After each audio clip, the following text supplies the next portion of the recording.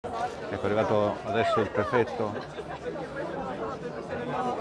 incontra, eh, si incontrano con eh, il questore, ma si erano già incontrati, il sindaco è qua, anche lui, il presidente della Camera di Commercio Ninni Tramontana, adesso eh, siamo pronti a partire con eh, quella che è questa passeggiata anti-racket, vediamo se prima si fanno facciamo le interviste al signor prefetto Massimo Mariani di Reggio Calabria. Adesso... Lei è carezzarlo per dopo. Intanto lasciamo salutare.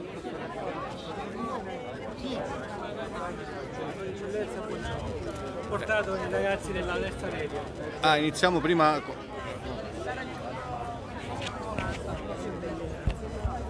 Lei è il Porzio? Cioè, ci siete tutti.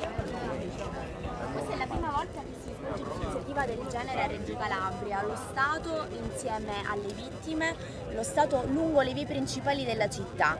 Però ancora tanto bisogna fare per sostenere chi denuncia. Lo Stato per essere credibile deve tutelare le vittime.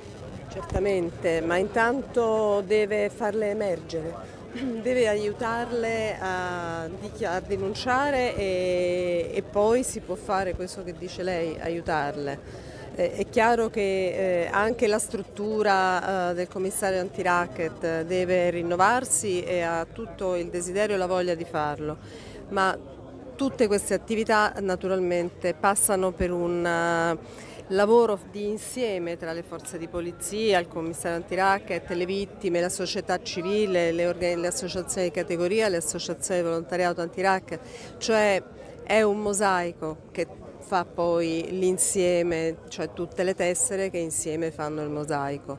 Qual è il suo messaggio alla città di Reggio Calabria? Ah, deve essere un messaggio di fiducia.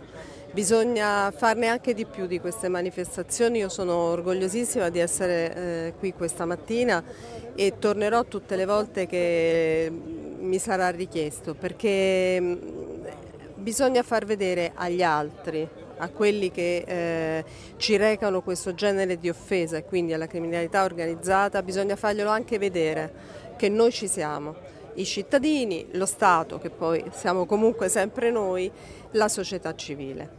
Ecco, che cos'è? È soddisfatta della partecipazione di questa manifestazione? Devo dire che non so ancora dirlo, non siamo neanche partiti. Spero di sì.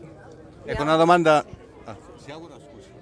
No, dicevo, io eh, spero di incontrare anche per la strada, insomma, lungo il corso di questa manifestazione, le persone. Eh, in questo momento non siamo neanche partiti, ancora non saprei dire. Ecco una domanda banale, ma che cos'è il pizzo?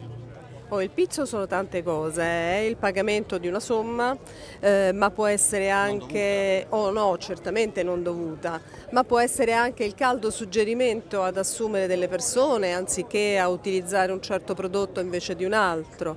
È comunque una forma di sopraffazione che leva la libertà a chi lo subisce. Ecco perché bisogna ehm, denunciare. E l'andrangheta ha delle modalità particolari per chiederlo? Ma l'andrangheta eh, è soltanto un fenomeno un pochino più difficile da, da leggere perché eh, ancora ci sono delle difficoltà ad arrivare fino in fondo a capirla, ma in definitiva le modalità sono sempre le stesse. Dimenticavo i furti, gli incendi, sono tanti modi per eh, arrivare a un'estorsione e comunque alla sopraffazione, quello è. La nostra libertà non è in vendita. Bene, la nostra libertà non è in vendita, questa è la chiusura.